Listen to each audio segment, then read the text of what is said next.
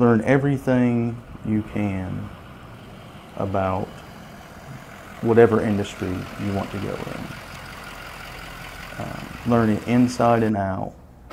Um, find what you want to do, your niche, what you're good at, and mainly what you enjoy doing, and learn it inside and out.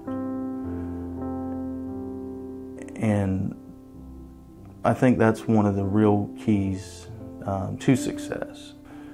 Whatever you do, you've really got to enjoy doing it. Um, and once you build a team,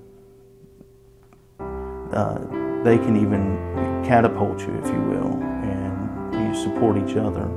Um, like today, you know, we've got a great team here, and it's taken years and years and years to get there. But um, we've got an awesome team now that, I mean, I, I couldn't do it without them. There's absolutely no way.